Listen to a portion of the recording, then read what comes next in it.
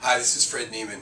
And a large percentage of our population has real needs, And many of these individuals have cognitive, emotional, physical, or other disabilities. And that's the benefit and the beauty of a special needs trust. On this page, I've explained for you the benefits of having a special needs trust. Read it over. And when you're done, if you have questions, give me a call. Come on in.